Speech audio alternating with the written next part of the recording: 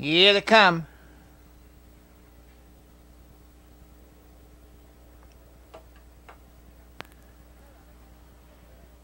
They're off. That's Master Link and Lover Boy for the early lead, coming away along the rail.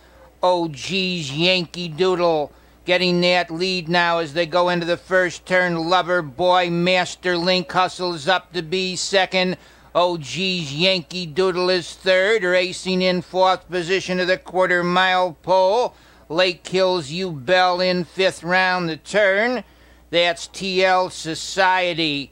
Racing in sixth position now goes double high. In seventh, classified material trailing the field. Sugar went and opening up a two and a half length lead to the half mile pole. That's Master Link racing in second position on the mid backside. Goes Lover Boy in third. Geez, Yankee Doodle racing in fourth. Comes Lake Hills Rebel. TL Society is fifth and on the move. They go into the turn, the leader by a length and a half. Master Link up on the outside to be second. TL Society. Lover Boy saves ground third. Double High comes on fourth. Racing in fifth, OG's Yankee Doodle. They turn for home on the front end. The leader by three lengths, Master Link. It's Master Link, the leader, racing in second, Lover Boy.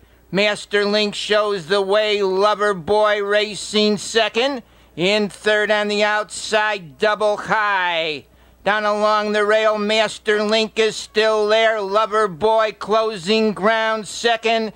It's Master Link leading on the outside. Lover Boy racing second.